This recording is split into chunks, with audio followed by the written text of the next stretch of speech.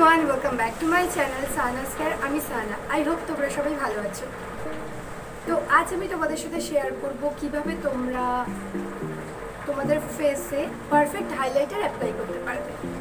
তো তোমরা অনেকেই এই প্রবলেমে পড়ো যে হাইলাইটার ফেসে অ্যাপ্লাই করছ, অথচ তোমাদের ফেসে কোনো গ্লো আসছে না, বা হাইলাইটার ইউজ করার পর সেটা রিমুভ হয়ে যাচ্ছে তাড়াতাড়ি, বা সেটা তাড়াতাড়ি খুব ফল আউটও হচ্ছে।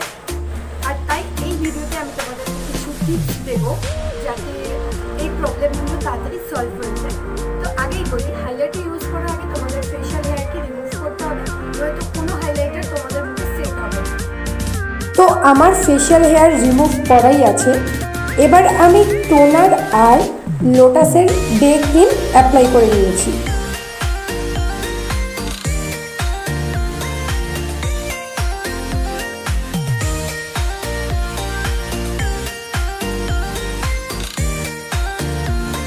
এবার তোমরা যেখানে যেখানে হাইলাইটার অ্যাপ্লাই করতে চাও, সেখানে যে কোনো ভ্যাসলিন বা লিপ বাম ইউজ করতে হবে।